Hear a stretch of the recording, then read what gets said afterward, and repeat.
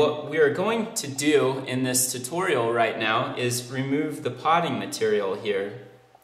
Now I just want to illustrate something very quickly here. It's imperative that you're very careful when you're removing the potting material because as you can see there this circuit board is just inside the bottom of the tire pressure sensor and you do not want to score it up with your with your screwdrivers when you're disassembling it.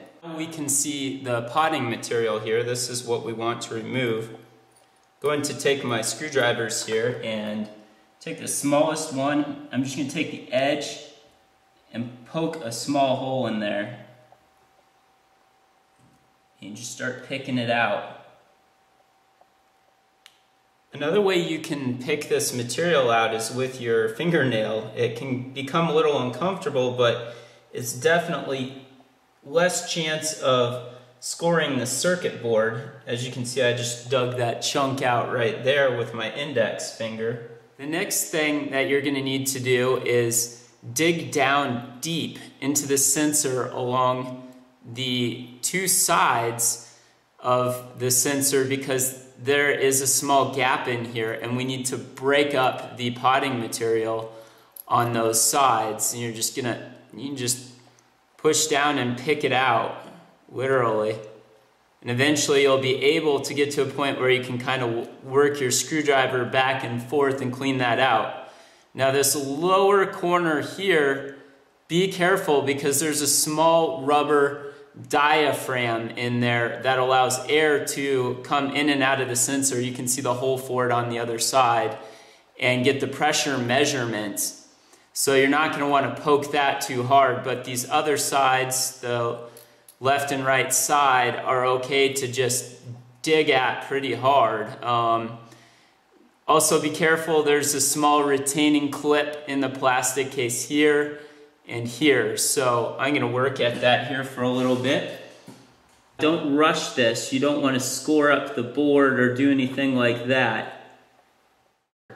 Now the trick is to desolder the battery leads here and here from the circuit board and desolder this mounting screw from the circuit board right there there, and there. Then what we can do is we can pop the circuit board out. So what I've got here is a soldering iron. I have my trusty soldering braid. And we're going to use the two to desolder these items.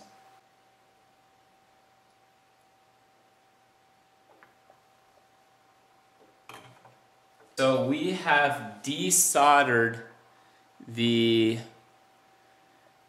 battery leads and mounting screw from the back side of the circuit board. Now we need to remove the mounting screw. Okay, so the screw is coming out.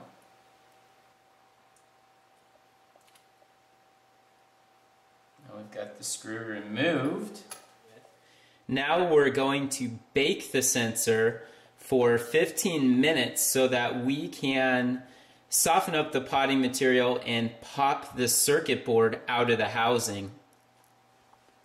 So I've preheated my oven here and we're going to place the sensor in the middle rack. Then we'll set our timer for 15 minutes. We're going to take our flathead screwdriver and we're going to pry it into the side of the board and slowly work it out. And there we go. We've now removed the circuit board. But the battery and a bunch of potting material remain inside the sensor housing. So we're going to dig that all out. You want to be very careful about this diaphragm in the lower corner though you can see on the other side where it breathes through, that's, that's where the sensor takes its readings, so you don't want to damage that.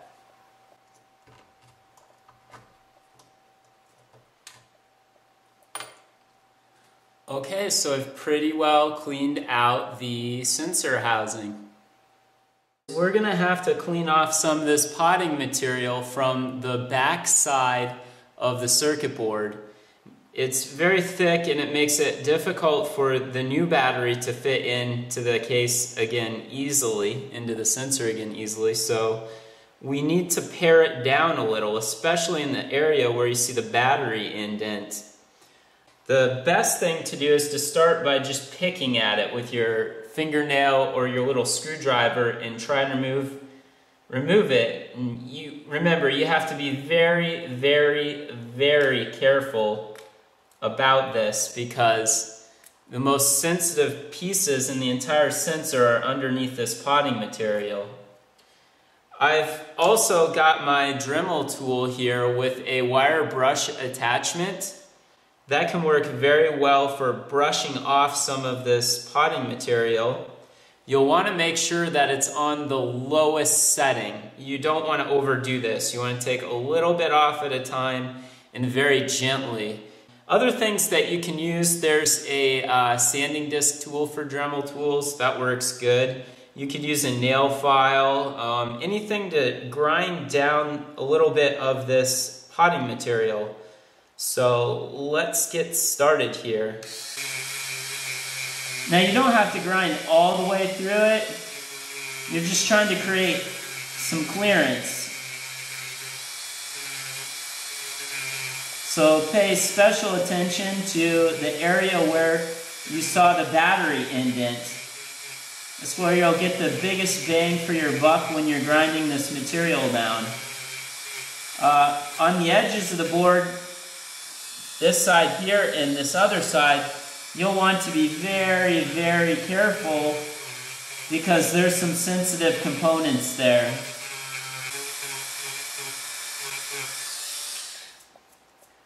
Okay, I've ground this board down considerably. So it's much flatter than it used to be. One thing that we should do before going on is a really quick dry test of the fit. This is the old battery. I just stuck that back in there. And let's throw the circuit board back in and see if it'll clip shut. And sure enough it does, so that's a very good sign. We need to solder new electrical leads to the circuit board and these will eventually attach to the battery to supply power to the tire pressure sensor electronics. What I've done here is I've got two wires. These are very small gauge wires. You can pick them up at Radio Shack. I actually like to use different colors. Uh, the black is my negative lead. The red is my positive lead.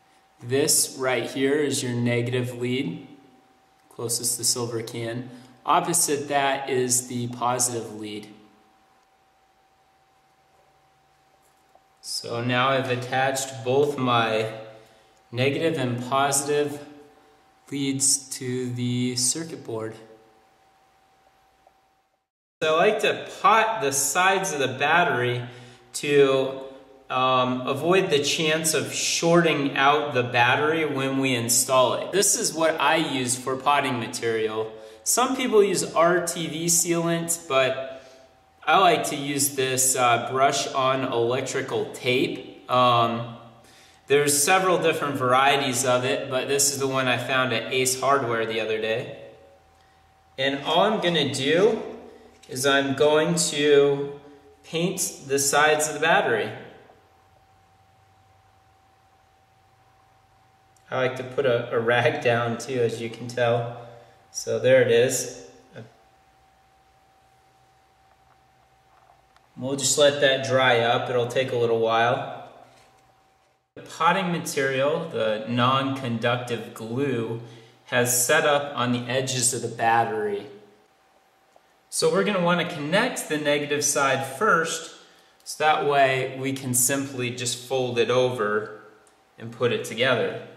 So I'm going to cut this is my uh, wire cutting and stripping tool. I'm going to cut the negative lead to length and I kind of want it to be in the middle here where I ground that down so I got some space, you're going to have to use your judgment here. So I'm going to cut it about right there. Cut it off. I'm going to strip it so I have plenty of uh, lead to get my electrical connection. Now it's time to put on my wire glue. This is the conductive glue that will form the electrical connection for the negative lead. And um, you're going to want to allow this ample time to set up. Could take, you know, if you leave it overnight, that's great. The longer the better. The electrical wire glue has dried on the negative side of the battery, so I like to put a little of my potting material, the brush on electrical tape, non-conductive glue, on top of that uh, wire glue so that it doesn't short anything out when we put the sensor back together.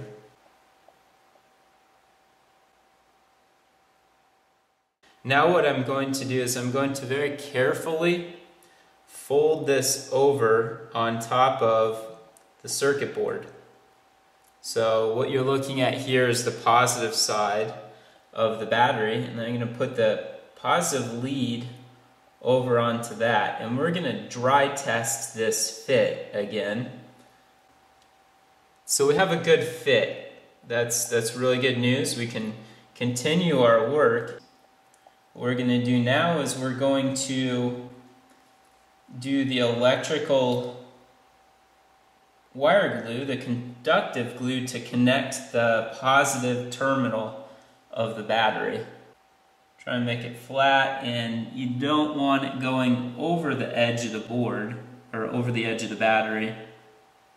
That's bad news because it could short the battery out.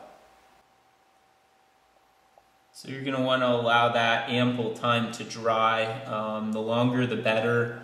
Uh, the other side I actually let set overnight.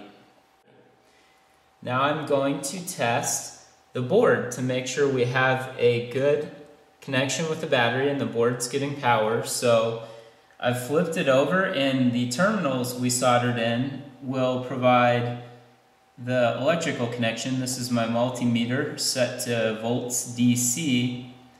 And when I probe it, I've got 3.2 volts which is what the battery should have.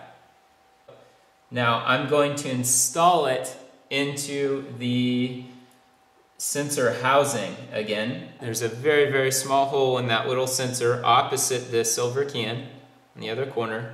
That hole needs to line up with the hole in the diaphragm. So, okay, we've got the board inside of the housing now. I'm going to replace the screw at the top by the valve stem. To do one last sanity check here and see what my voltage is, make sure I didn't disturb anything. Now I'm going to solder that, that screw in there like it used to be when we took it apart. All we have to do now is take our brush on non-conductive electrical uh, glue and fill in the sensor again. We're going to repot it.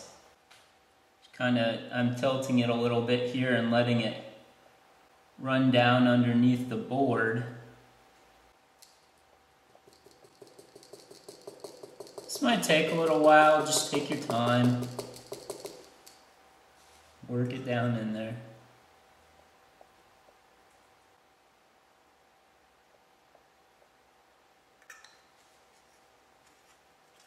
Okay, I'm just gonna let that set for a while. Might have to come back and give it a couple more coats. It's a little wet just yet, and I've actually saved this sticker from the back side. If you're so inclined, you can take that on the last coat and just kind of lay it on there and